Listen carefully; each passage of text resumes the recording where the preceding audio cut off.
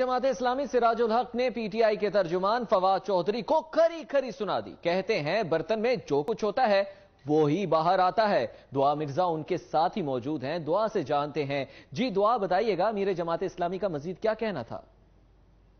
بالکل اس وقت میں امیر جماعت اسلامی سراج الحق کے ساتھ موجود ہوں۔ اچھا سر، مجھے بتائیے گا کہ آپ نے تحریک انصاف کے جو نئے انتخابات کے مطالبہ ہے، اس کو مسترد کر دی جماعت اسلامی نے، اور اس پر تحریک انصاف کے رہنما فواد چودھری نے یہ کہا کہ جماعت اسلامی کی تو اتنی حیثیت ہی نہیں ہے کہ وہ اس کوئی خاصا فرق پڑے تحریک انصاف پر۔ تو اس معاملے پر آپ کیا کہیں گے؟ یہ ان کا ضرف ہے۔ ہر کوئی اپنی ضرب کے مطابق بات کرتا ہے۔